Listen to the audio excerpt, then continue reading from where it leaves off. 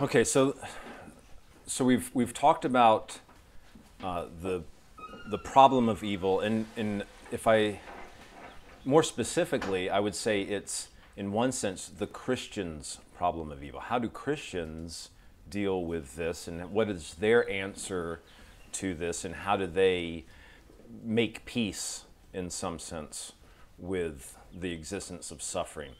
Uh, what I want to do to end this. Uh, our sessions is I want to talk about two things the, the, the nature of morality. I think that'll give us, that'll help us to see uh, this, and this obviously gets into uh, philosophical ethics. We'll talk about the nature of morality and how might a naturalist or an atheist ground or support this notion of value or morality in particular, as uh, ethical value, without there being some sort of divine lawgiver that the, the Christians or theists will rely on. So I want to, and, and, and then I want to close by showing, again, I'm going to, you know, I'm harping on this and I, I'm, I'm jumping up and down on this, but that everything is personal and that morality is going to be ultimately personal and grounded in the person of God and not just as some impersonal law giver. All right? So let's, uh, in, in, fact, what I'm going to be saying, in, in, I'm going to be expounding or explicating or describing uh, what I call moral subjectivism. I think that morality is subjective in that you need a valuing subject in order to have any sort of value. Now, hopefully, your alarms are going off a little bit when you say subjectivism. That tends to be to call to mind to anarchy and relativism. You know, it's like whatever you know. What's true for you is true for you, and what's true for me is true for me, and that's that's okay. It's not going to be that, but it is going to be more relative than I think Christians are used to thinking about morality. So part of this is going to be a corrective. All right, so let's, let's the, this notion of value. There's, if, if, you're looking at reality, there, there are different ways that you can cut, slice and dice it and cut it at its joints, so to speak. But one way to do that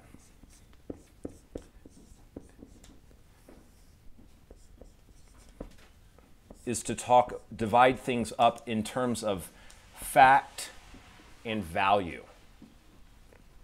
So you have, in, in, in, in one way to get a handle on this distinction between fact and values, to, we can do hardly do better than going back to David Hume. So David Hume would say, for example, consider any act, any action that some human performs. Let's say uh, a willful killing, a, some, some one person has killed another person on purpose.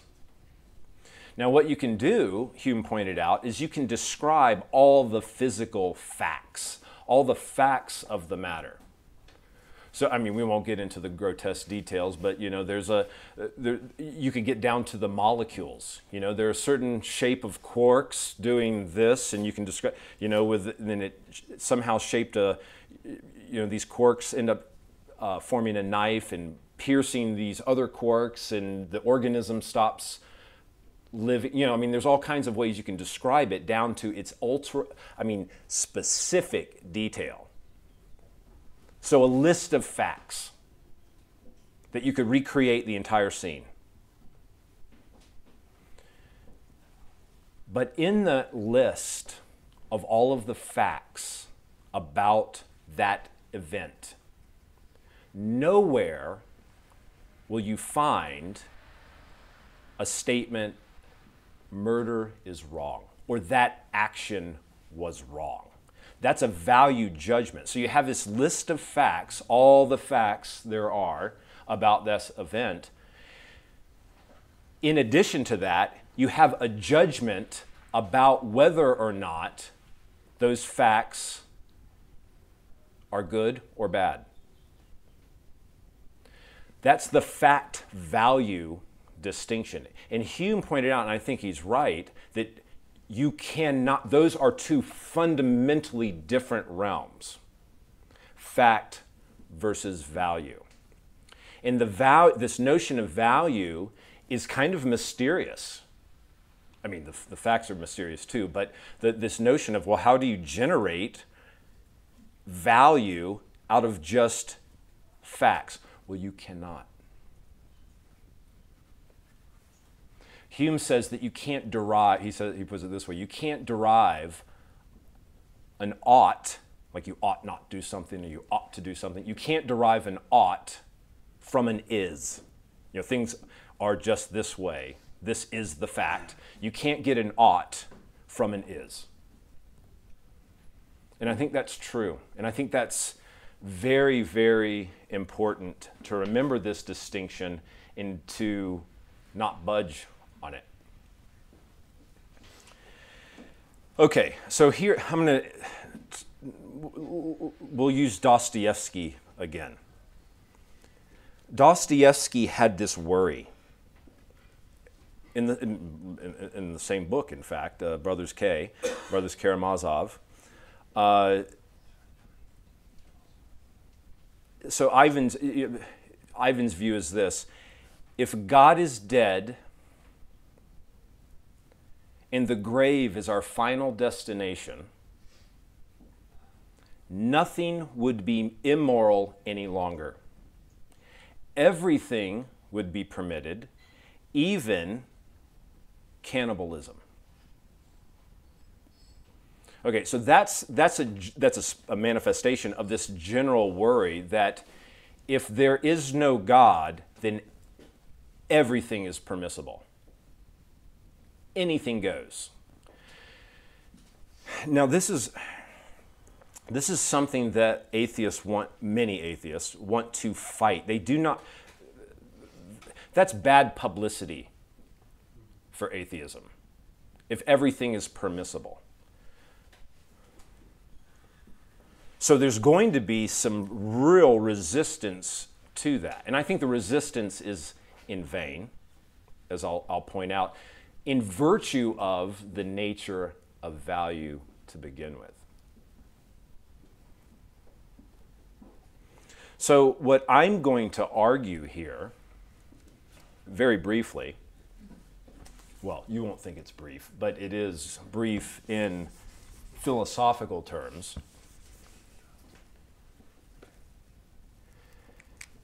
If atheism is true, then there is no objective morality.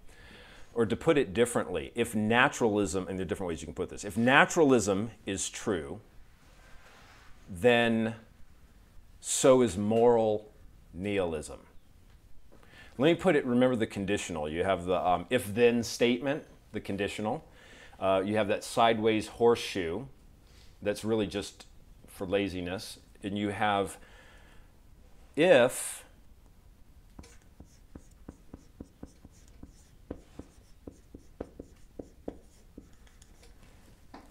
if naturalism, if naturalism is true, notice how we're just we're we're we're um, abbreviating everything. If naturalism is true, then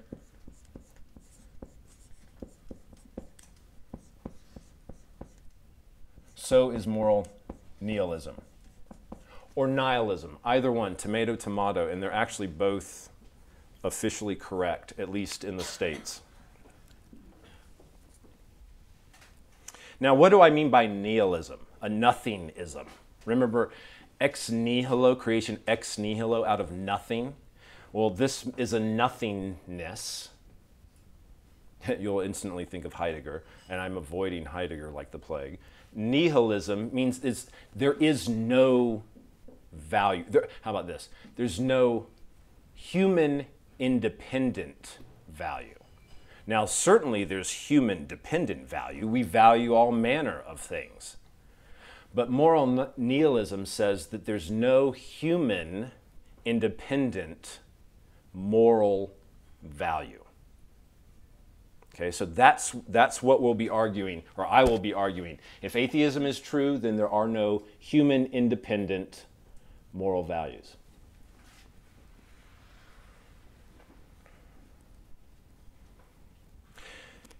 Here's what I'm not saying. Here's what I'm not saying. I'm not saying that atheists cannot behave morally. I've seen it done. That, that, that's not the argument. The argument isn't, well, if you're an atheist, you have to behave in a certain way. You know, you're, no. Or if you're, you're an atheist, you, you, you're, you're going to behave in more. That's not it at all. Atheists can behave, sometimes better than theists. So that's not, the, that's not what I'm arguing. The other thing that I'm not arguing is that atheists don't want to behave morally. I'm not saying they can behave, and oftentimes they want, it's because they want to. They love their children because they love their, they're, they're, they're good to their children because they love them. They value their children. So it's not as if they don't like moral behavior, and it's not that they can't morally behave. The question is whether or not there's an it, that the, the values that they have, the behavior that they follow based on those values, is anything more than just their own independent personal values. Uh, tastes. I eat ice cream, you know, I have a certain behavior. Ice, I, I love ice cream. And so I value it. Therefore, that valuing of ice cream leads me to eat it. But there's nothing objective, that's just a personal preference of mine.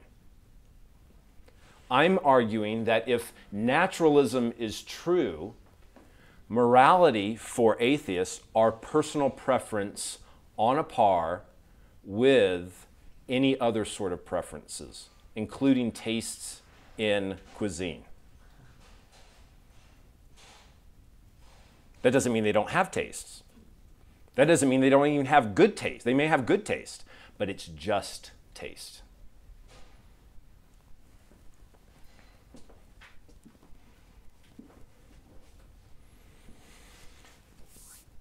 Okay.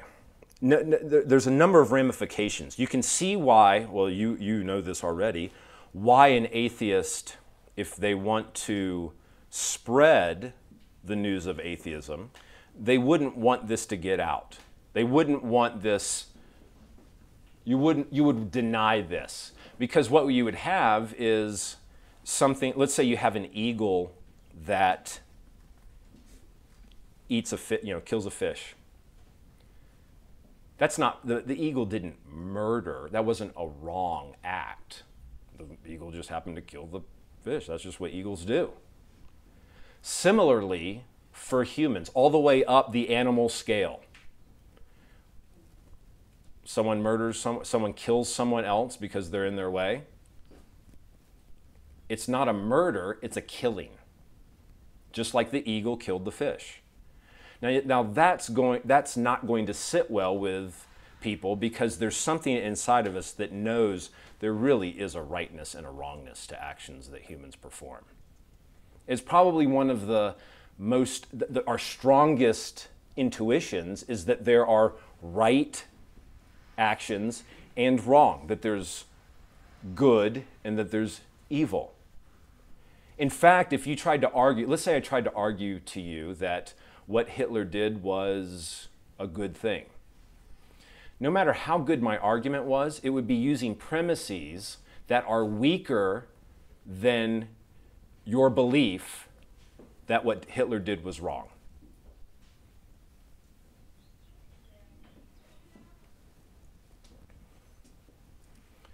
I'm going to read another uh, another quotation. This is this is one from a serial killer uh, in in uh, from the states uh, Ted Bundy.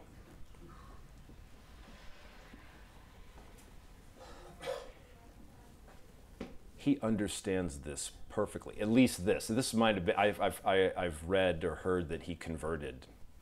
I think James Dobson had an interview with him later and all of that. But, anyways, in this quotation, he fully gets this. And he speaks as if he gets it. Here's what he says Then I learned that all moral judgments are value judgments, that all value judgments are subjective, and that none can be proved to be either right or wrong. There is no reason to obey the law for anyone, like myself, who has the boldness and daring, the strength of character to throw off its shackles. I discovered that to become truly free, truly unfettered, I had to become truly uninhibited. Why is it more wrong to kill a human animal than any other animal, a pig or a sheep or a steer? Why should I be willing to sacrifice my pleasure more for the one than for the other? Surely you would not, in this age of scientific enlightenment, aside. Notice how this, this notion of science is part of the reason for thinking that there's no God and that everything is permitted. So what we said previously was not was not unrelated.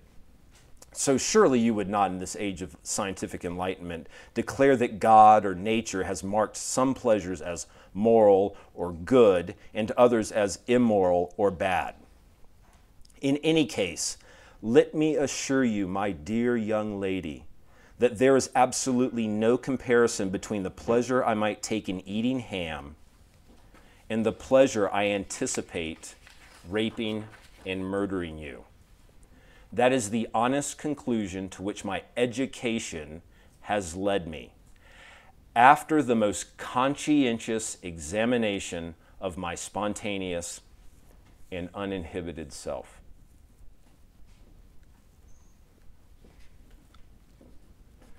This seems like a philosophical proposition. This is just theory. I mean, come on, we're just talking. It, look, I even put it in terms of, a, I even use this dry, conditional, symbolic logic for this. This is just theory. We're just playing intellectual games. Well, you can see that that's not true at all. Con- ideas have consequences, and Ted Bundy understood this, and so have many, many, many people. So basically, what I'm arguing is if there is no God, then Ted Bundy is right.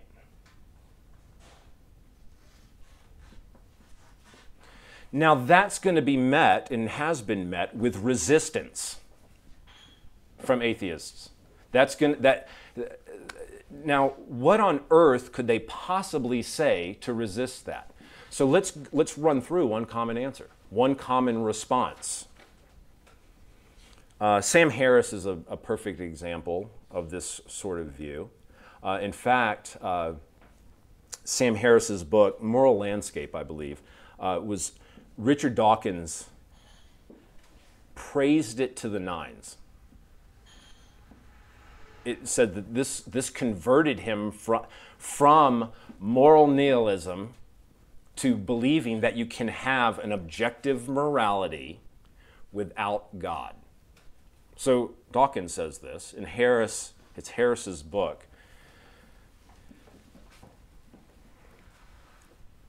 Now, the theory is this it's just good old fashioned utilitarianism.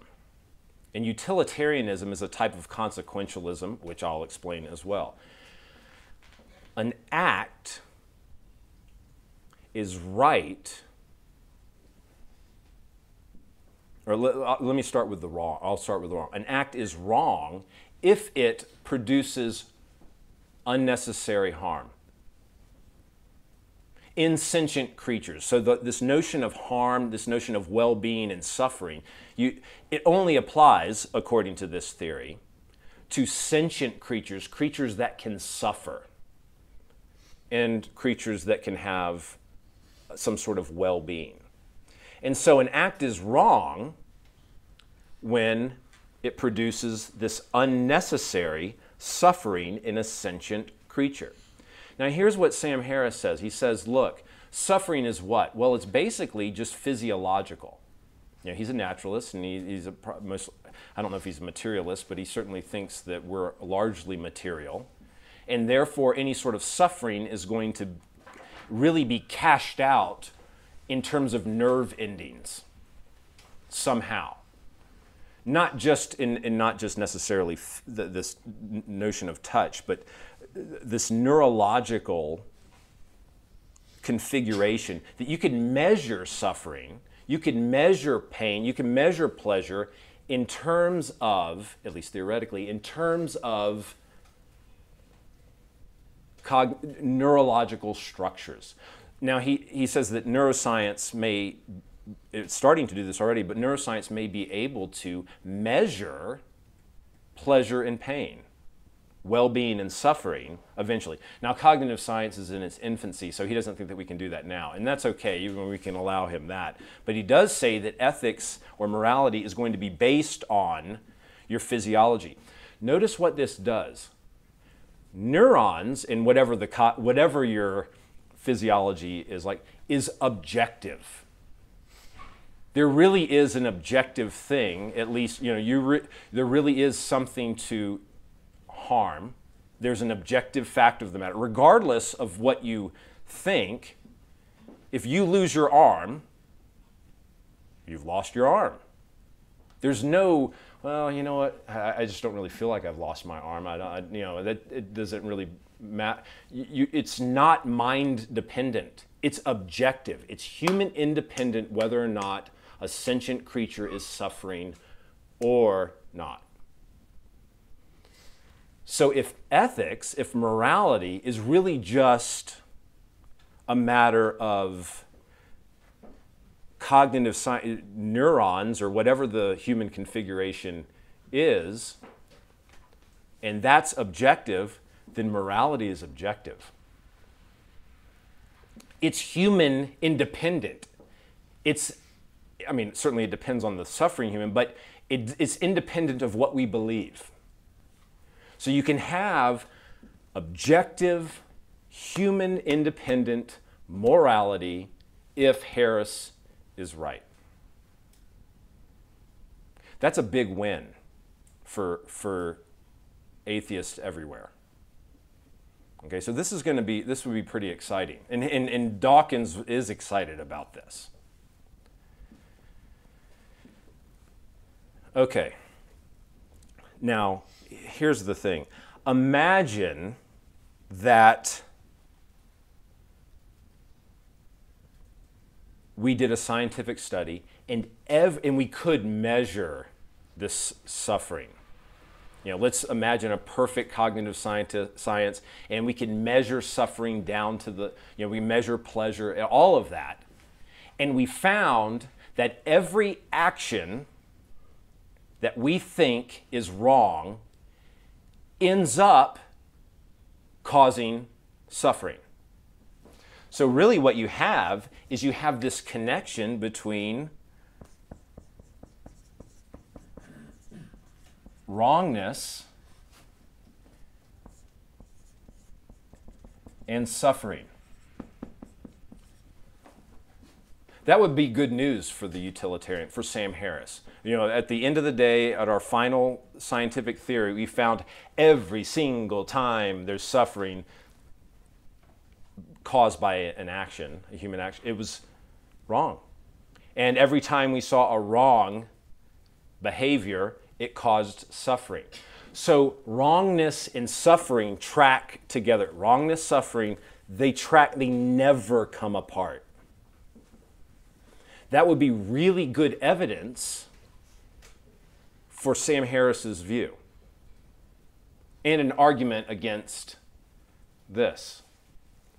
Now, suppose that it do, suppose we have that perfect sign, and it really does every time you have a, a moral, morally wrong action, you have suffering. They never, never, never, never come apart. Does that really mean that the suffering is what causes the wrongness? does that really mean that it's neurological is what causes the moral? Because that's what Harris is saying. The physiological is causing, is grounding, is determining what's moral. So this is the, the direction. This causes this. If you can measure this, this is objective, then this is going to be objective because this depends on that.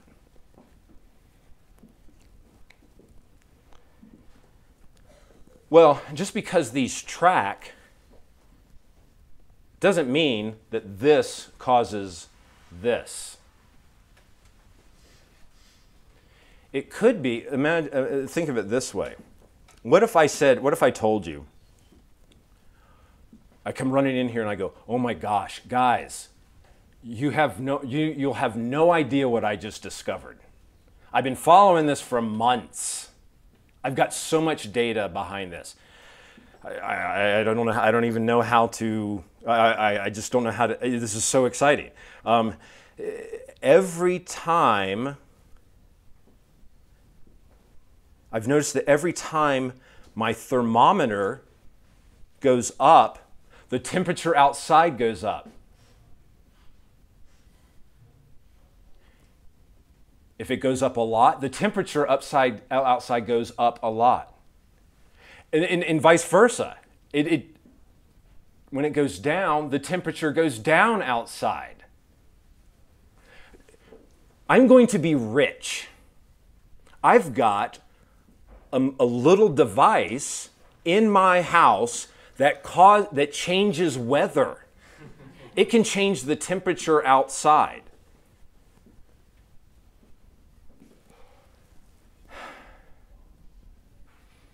Well, that's kind of what Harris is doing. It may be that wrong behavior does always cause some sort of suffering, but it's not necessarily the suffering that causes the wrongness.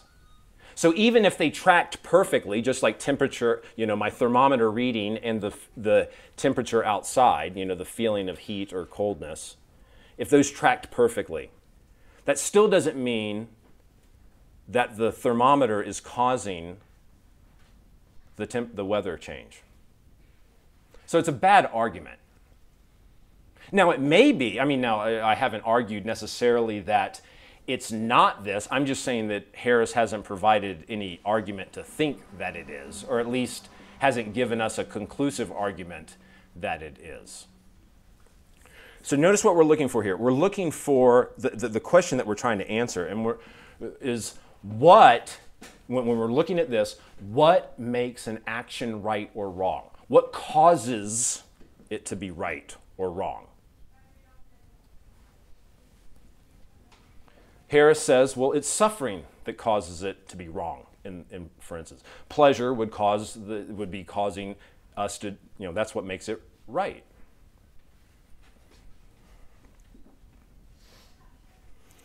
So let me give you another argument. So that, that shows that, okay, his argument's not that, not that conclusive. Let me give you an, a more conclusive argument, I think. If I'm right, then it shows that this is wrong. And we'll look at the nature of value itself. So let's see, what, what's the nature of value? What's it like? How do you describe it? What, what, is, what is, this is kind of an ontological or metaphysical, you know, we're getting into, again, this is philosophy, but it's, it's not, it has radical implications in practical. Let me give you an example. Imagine, I've used this before, imagine that you're on a deserted island. You know, your plane has crashed. You're the only survivor. You're on this deserted island and you're trying to survive. You've been there for, for a while and you're really starting to lose it. I mean, your health is going down, you're, you're, you're, you're, get, you're becoming, you're just in despair, you're depressed, and uh, the nature is trying to kill you.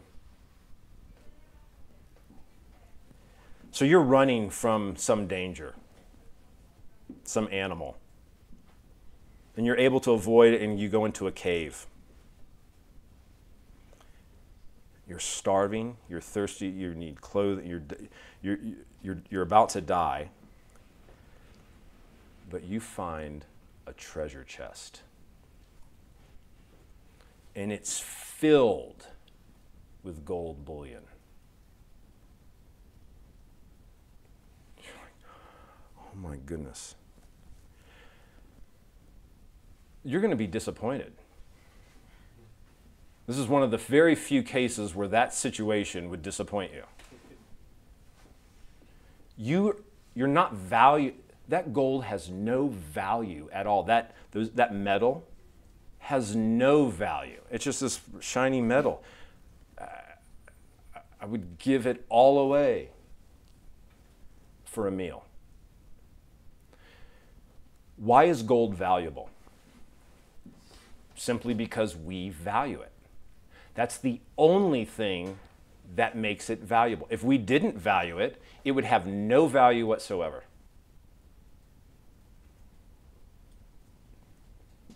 Now, that's an illustration of what I think all morality is, or, or all value is like, including aesthetic value, including ethical value. It all requires a valuing subject a, a, a person, a mind that does the valuing. Notice I said it needs a valuing subject. That's where the moral subjectivism comes about. That's where it's subjective in that it requires a valuing subject. Now, suppose that there's no God. Suppose I'm right about that and suppose that there's no God, where does value come from? Humans. You know, I mean, that's the only value in the universe would be. Well, I mean, assuming that we're the only creature, you know, the only valuing subjects in the universe. It would all the value would be located in each of your minds or hearts or however you want to put it. Notice this: everyone would have their own personal set of values.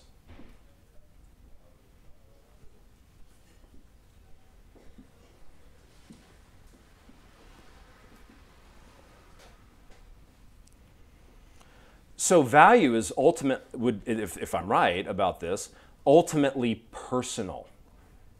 There is no value that's just there's no morality that's just out there in the cosmos when we talk about, say, natural law or whatever you want, how that's a misnomer. There's nothing natural about value. It's not out there in nature. It's not, it, you can't find it in this.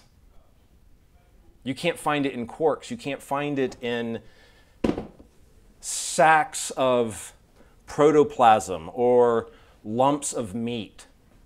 It has to be mental, it has to have some sort of mind to do the valuing. So that makes value very, very subjective, very, very personal. But if there's no person that stands above, independent of humans, then all you're left with is what, 7 billion right now? 7 billion different standards of value. Now, of course, there's lots of overlap you know, we like, we value a lot of the same things. But it's still just our preference.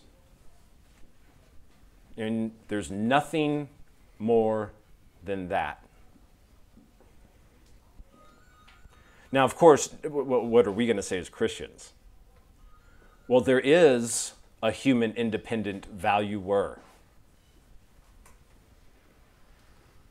this valuer just happens to have created the universe, created us, so it has some sort of authority.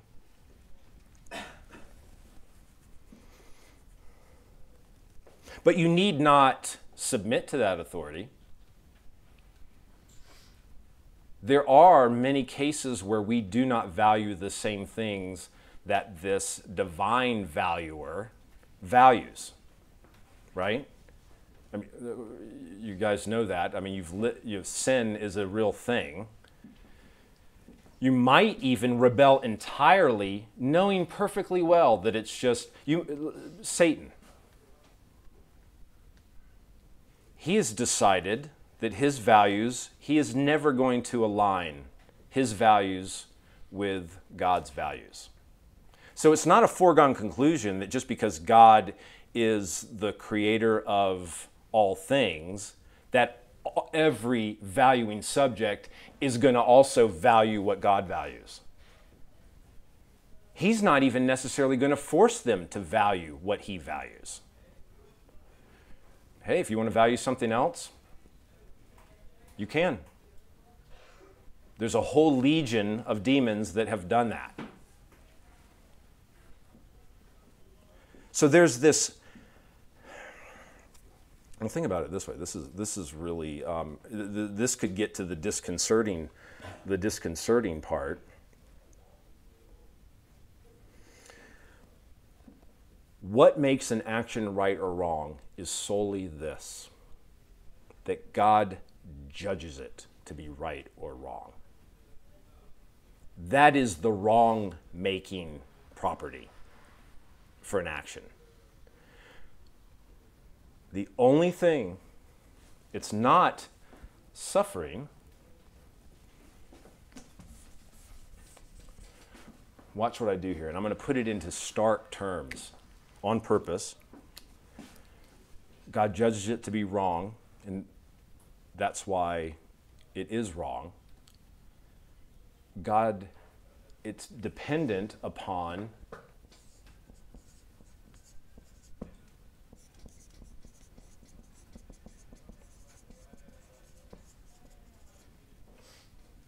God's preferences or tastes.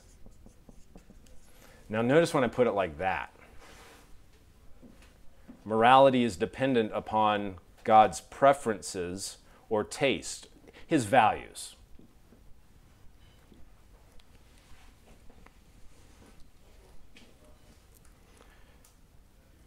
I can hear Plato actually in his dialogue Euthyphro. Eh, this is called the Euthyphro objection to this sort of, we might call this a divine command theory, which is what Christians have typically held over the centuries. Divine command theory, and that's what I've given you. But here's the problem. Well, wait, wait, wait, wait a second. Is it, what is it that makes it wrong? Is it that God looks around and he goes, you know what? Uh, I've got an external standard of wrongness. Let me, before I give you guys a command, let me, I'll be right back. I'm going to check this external standard of rightness and wrongness and go according to that. All right, adultery, no. That's off the list, guys. That's wrong. You can't do that. It says so. Well, we don't want that. That's a bad. So, is something right or wrong because simply be, so so does God command something or command us to refrain from it because it's wrong uh, by some other standard or is it simply this whatever God commands or forbids happens to be right or wrong. So it would look it would look this way. Get one of the angels to kind of write this down. All right, Gabriel, I want you to write this down. Um, this is what this is the ultimate standard in adultery.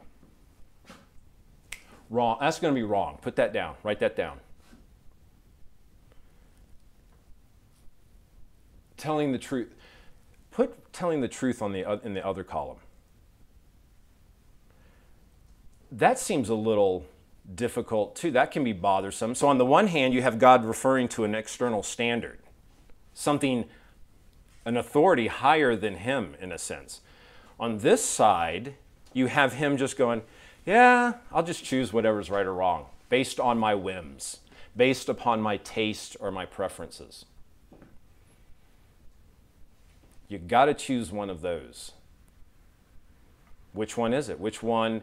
both of them seem to be kind of cause us some uncomfortable, put us in an uncomfortable position. It's this one. It's wrong because God says it is. That's now. How do we get out of the problem, though, of it just being God being capricious or whimsical, or it being just, uh, you know what? It's it's totally up to whatever he says. He could have, if he if he would have said that rape is good, then it would have been good, given that we've chosen this side. We can avoid that if we chose this side, you know, and said, okay, no, he, he, he referred to an, an external standard that's objective. But here it seems arbitrary that he, you know, if he chose rape, hey, I guess that would have been. Thankfully, this God is the one that's in control and not some other God who preferred rape. Okay, there's two things we need to separate there's a statement about value, and then there's a statement about God. The statement about value, it is true. If God would have said that rape is good, then it would have been good. That's just the nature of value. But now let me say something about God. According to our traditional theology, our perfect being theology that I'm going to defer to because it gives me the answer I like. The, so the perfect being theology says that God's nature, if he has such a thing, God is a necessary being and could not have chosen otherwise. He could never have, we talk about preferences or tastes, that seems kind of arbitrary, but it's not, when it comes to God, these are just, it's just his character. His nature is such that it would have, he is not the kind of being that would have preferred or chosen or judged or valued rape as good. So on the one hand, yes, value value would mean that God would have to, you know, if, if he had chosen rape to be good, then that would have been good and we'd been it'd be in a worse situation than we even are. But given God's nature and who he is, that wouldn't happen. So we avoid the arbitrariness by appealing to God's necessary nature, the fact that he couldn't have been otherwise. So that helps us. So, so we, we're grounded in a person. We have morality grounded in a person. It doesn't change. It could never have been different.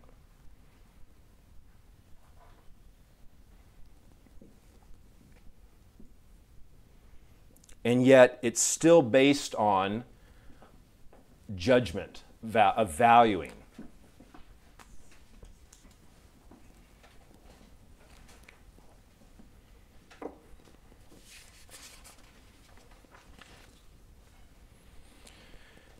Okay, so I'll end there.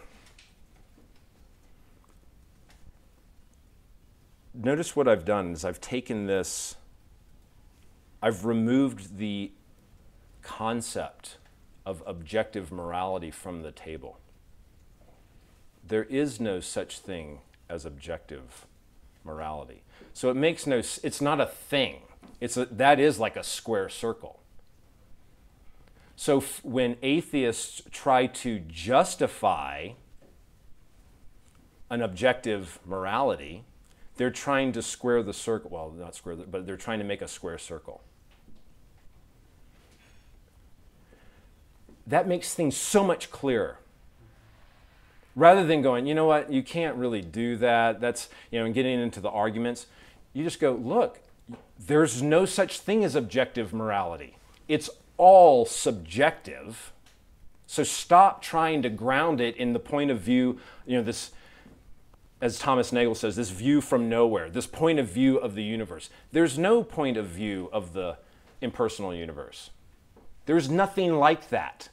There's human persons and divine persons. Value is grounded in those. Take your pick. But don't try to choose don't try to choose a third option because there is no third option.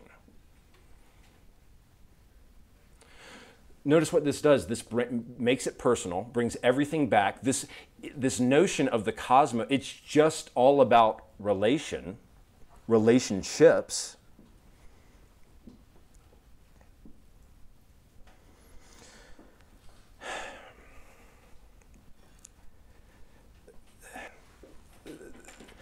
I, I want it all. Uh, I want it all.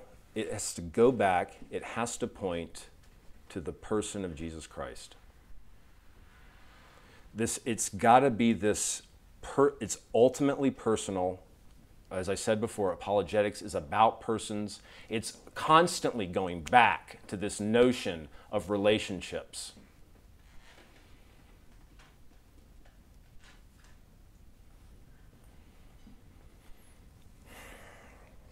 Okay, so I'll end with that there.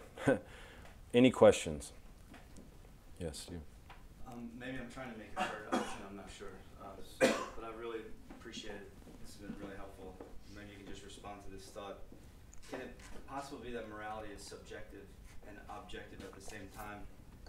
In the sense that God is the value and subject, but objective in the sense that we are ontologically made in the image of that God, and so a subject derivative objectivity?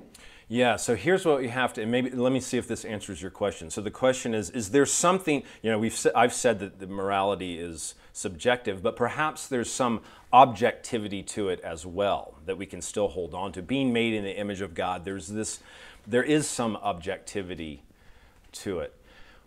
When I say objective, I'm using, you know, when I say morality is not objective, I'm saying that it requires some valuing subject in that it's subjective in that sense. However, a lot of times what we'll use is we'll use objective to just mean human independent, independent of what any humans think. So there's an ambiguity when it comes to the term objective. One is just in uh, object objective versus subjective, object versus subject and the other is human dependent versus human independent. So there is going to be an objectivity to it in that it's entirely human independent. I don't know if that. Yeah. Okay. Anything else? Yeah, yeah, Jenna. So based on that, you could say then, y- y- it seems that you'd want to add an element of truth to this as well, because when I think of truth, right away I'm thinking something objective, something mind Right. independent, something universal. Right. And this is ultimately what morality is, what Christian morality is, what God's morality is. So Right. we're talking subject, we're talking object in a sense, but we're also talking truth. Is that Yes. No, I think that's in, entirely right. And we, we don't want to say, notice what I'm not saying. I'm not saying that truth is subjective. I'm saying that value is. But it's an objective truth, if I'm right. If it's an objective truth, that value is subjective. So truth is objective. It's either it's either true or it's not, independent of what we think. In fact, there's a sense in which, and this is going to get me into a little bit of trouble, it's true or not independent of what God thinks. I mean, it's still, that's a tricky subject, but there is objective truth. We're talking just about value, not truth. So you're entirely right. There's going to be objective truth, and we don't want to give that up. Well, actually, we can't give that up. It would be impossible. Yeah, I appreciate Jonah's remark because I was listening to you and I was thinking, why not say that nothing is objective? Because nothing is above God. Everything, you know, comes from Him. So, in a sense, I was thinking, would Dr. Stokes say that even truth is Right, subjective right. because it's not above God, it's rooted in Him? Right. Um, and so maybe the maybe it's really what we mean by objective. I, I'm not bothered by the idea that that there is moral uh, objectivity. Uh, there's objective right and wrong in the sense that it's true or not true that such a thing is right or wrong. Right. Um, so anyway, and the other thing is, uh, I was thinking, does that give the idea that something is wrong because it hurts God? So he's hurt in his preferences and his tastes, and he'd rather us not do such a thing because it hurt, it's hurting him. And then maybe we're going back to the question of God's impassibility. Yeah. Um, so anyway, Yeah, and I and, and, and I don't know the answer to that last that last question. I, I do think that it's going to be. I mean, I would. My gut is that it's grounded in just the way he is, and not the effect that it has upon him. That doesn't mean that there isn't an effect. I mean, again, that gets into the the, the passibility, impassibility. There could be an effect in addition to that, but it's not what causes the rightness or the wrongness. Yeah, Wilbur. Uh, Thank you so much. Um, you were uh, at the beginning of the lecture uh, subscribing to David Hume's. There's you can go from an is to an ought. I was wondering, is that doesn't that amount to digging a grave for natural law and burying it and putting a tombstone on it that says Yeah, and well, I think, and this that's an excellent question. So, what does this mean? This can't you can't derive an ought from an is. What does that mean for natural law? Well, I think this is a tr- this is a tricky question. I think the word, even the phrase "natural law," is a misnomer. So, there's a sense in which natural law you want things in this in the sense you, you, you want some sorts of sorts of laws as independent of humans. But I think it's wrong to say that they're in nature.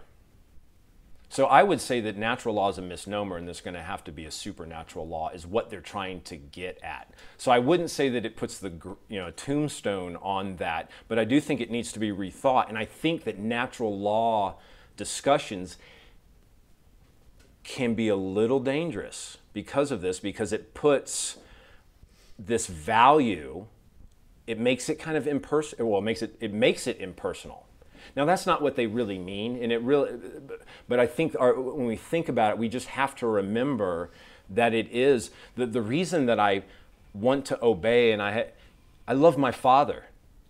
You know it's not because it's just well that's just the way it is. You know that's just the way nature is. So uh, you know homosexuality is wrong just because that's the way nature happens to be. No it's because my father says that it's wrong and i'm loyal to him. I love him. This is my father's house. So basically get this. Morality is kind of like cosmic house rules. You know each family has their different you know don't run on the couch. Other families are like yeah fine go ahead. Couch whatever. It's an old couch. God has his house rules that are grounded in him and but they're grounded in him. And things go better or worse for us as our values align with his. The closer our val- the closer our values align with his, this causes so so much dissonance when our values start to misalign. This is when we feel this is terrible. This just things are out of whack, out of joint.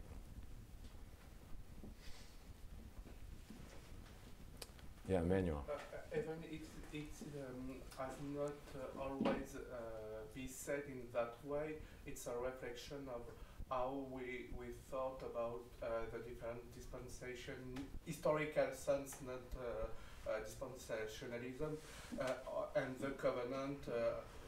It's the, that there is a subjective theory of value and that God is the valuer. We can see that in um, there is some uh, moral uh, law and uh, uh, other law that are not moral uh, per se, uh, sacrifice, et, et- Right, uh, right. etc.